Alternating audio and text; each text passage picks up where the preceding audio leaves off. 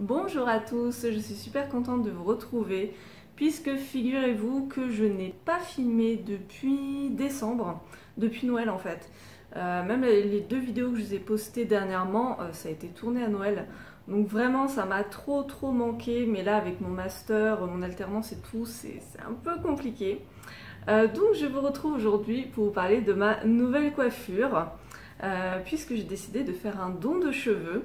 Donc voici tout ce que j'ai coupé. Euh, j'ai coupé, euh, enfin là ce que j'ai coupé ça fait à peu près 30 cm, peut-être un tout petit peu plus de 30, 30, cm.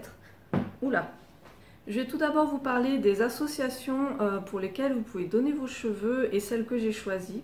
Je vais vous expliquer du coup pourquoi j'ai coupé autant et puis aussi quelle, quelle est finalement ma coupe préférée puisque à travers toutes ces années qui ont passé, sur ma chaîne.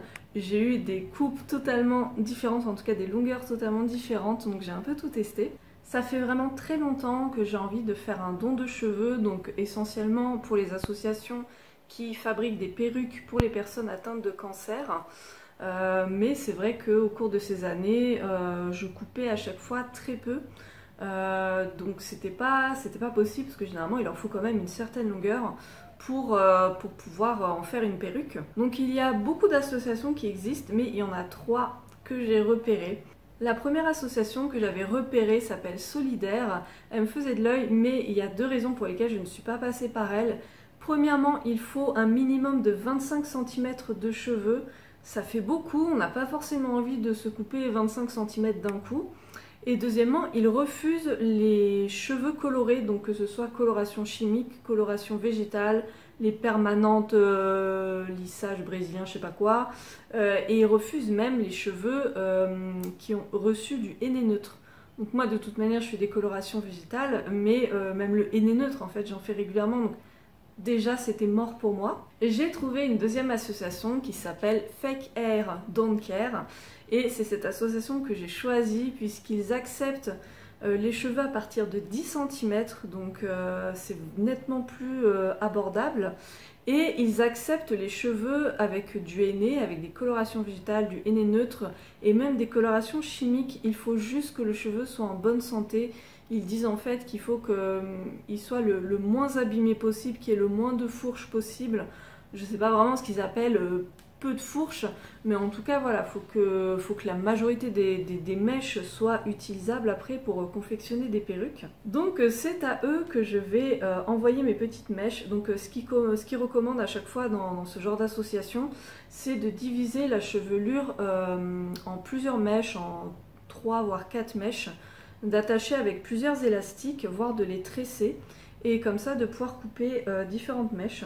Donc moi en fait j'ai fait appel à une coiffeuse à domicile euh, qui m'a très gentiment euh, donc séparé les mèches et qui les a coupées. C'est elle qui a filmé du coup. Je les enverrai tout simplement dans une enveloppe à leur adresse. Je vous mets évidemment tous les liens en barre d'infos. Vraiment allez voir si vous voulez en savoir plus, comment ils font. ils, font des petits schémas pour montrer comment couper les cheveux, etc. Donc c'est très pratique je voulais vous parler d'une troisième association qui s'appelle Capilum et qui m'a un peu aussi euh, intriguée. Euh, en fait, on ne peut pas directement leur envoyer des mèches de cheveux, mais par contre, eux, ils ont tout un réseau de coiffeurs euh, partenaires. En fait, ils récupèrent les cheveux coupés, quel que soit leur, état et leur longueur, pour en fait, il, y il y a trois axes. Euh, il y en a un, donc c'est pour dépolluer les os, parce que figurez-vous qu'un cheveu, ça peut absorber jusqu'à 8 fois son poids. Et donc c'est pas mal en fait pour absorber tous les polluants euh, des cours d'eau. Donc, euh, donc ils s'en servent pour ça, ils s'en servent aussi pour la recherche médicale, qu'ils extraient la kératine du cheveu. J'ai pas tout compris, mais en tout cas, ça, aide aussi la recherche médicale. Et troisièmement, ils s'en servent aussi en agriculture. Euh, pareil, comme ça des pouvoirs absorbants, c'est pas mal aussi euh, pour, euh, pour les bienfaits de, la terre, etc. Vous irez voir sur leur site encore une fois, mais j'ai trouvé ça très très intéressant. Donc en gros, ils, ont des, des, coiffeurs partenaires à qui ils livrent des, grosses bornes en carton, un peu comme les, vous savez, les bornes en grande surface où vous mettez vos piles usagées. Mais là c'est pareil, en fait, juste au fur et à mesure de sa journée, le coiffeur balaye les cheveux des clients, remplit la borne et puis quand elle est pleine, il l'envoie à l'association euh, Capilum. Donc je trouve ça super intéressant. Donc si jamais euh, vous voulez quand même faire un don de cheveux mais que euh, vous n'avez pas assez de longueur ou qui sont trop abîmés, bah, peut-être allez voir sur le site Capilum et comme ça vous pourrez voir la liste des coiffeurs partenaires. Et euh, voilà, quoi, vous allez vous couper les cheveux par ce biais. Donc pourquoi je me suis décidée maintenant pour couper aussi court, vu que je laissais pousser mes cheveux? Donc pour rappel, je m'étais fait il y a 2-3 ans une coupe très très courte euh, à la garçonne, même si j'aime pas trop ce terme. Et ensuite, donc j'ai laissé pousser. Et à ce moment-là, je me suis dit, ben, qu'est-ce que je fais? C'est vrai que j'aimais bien mon, petit carré. Je me suis dit, ben, je pourrais peut-être juste retrouver mon petit carré. Et puis quand même, je me suis dit, c'est quand même l'occasion de les laisser pousser, d'en profiter parce que ça me faisait quand même envie de réutiliser mon cardoon, de faire des tresses ou autre. Bon, finalement, j'ai pas fait grand chose hein, comme coiffure, mais euh, en tout cas, euh, ça me tenait à cœur voilà, de bien les entretenir, de les laisser pousser et ensuite de les couper. Euh, au final, pourquoi aussi j'ai coupé aussi court C'était pas juste pour le don, parce que vous voyez, j'ai 30 cm, ils acceptent à partir de 10 cm.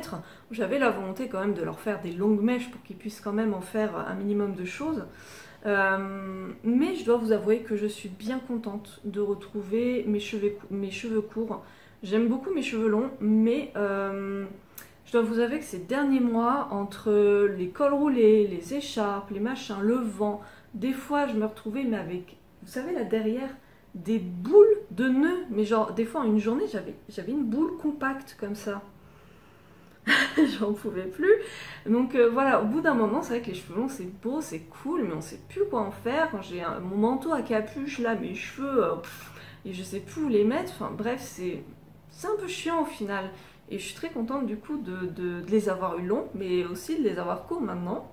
Et vous l'avez vu, je me suis un peu remise aux colorations végétales avec le Katam. Mais je me suis vite rendu compte que euh, qui dit cheveux longs dit bah, plus de poudre à mettre sur les cheveux, donc euh, plus cher aussi.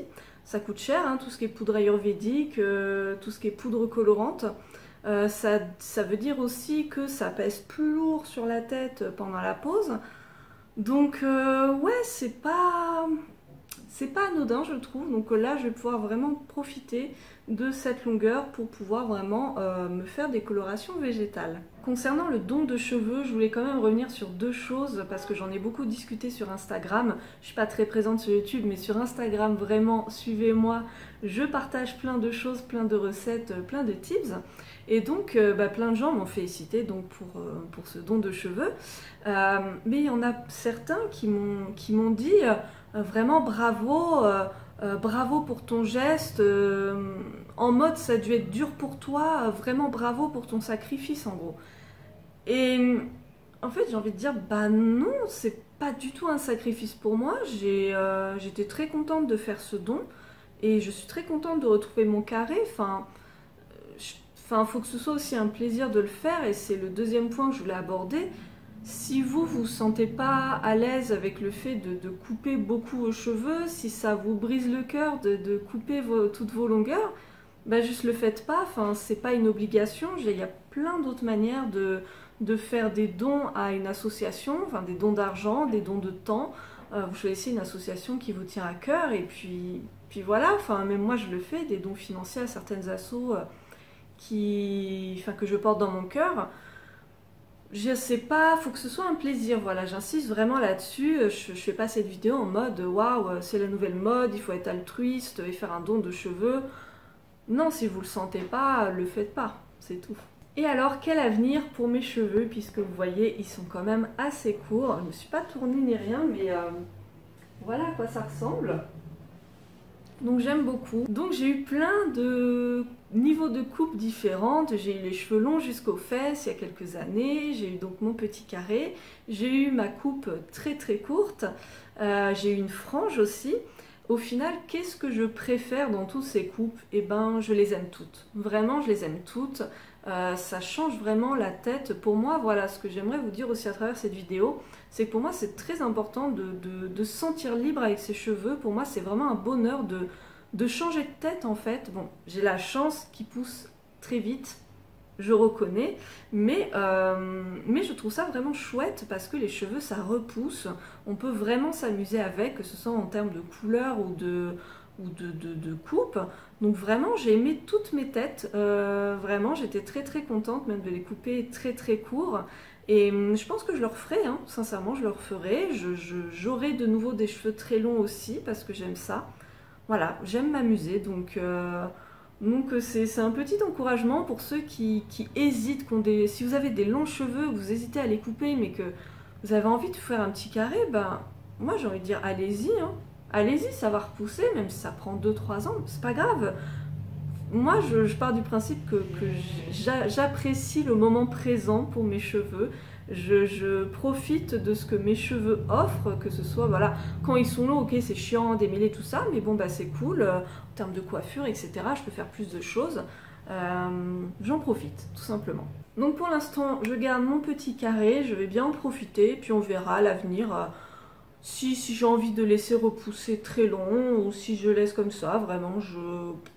Je ne me pose pas trop de questions, ça viendra selon, selon mes inspirations. Voilà, et eh ben écoutez, euh, j'espère que ça vous aura euh, donné euh, de l'inspiration. Si jamais vous avez envie de, couper une grande quantité de cheveux, c'est peut-être l'occasion de passer par une association. Et puis en tout cas, bah, prenez soin de vous, profitez du beau temps et je vous dis à très bientôt. Salut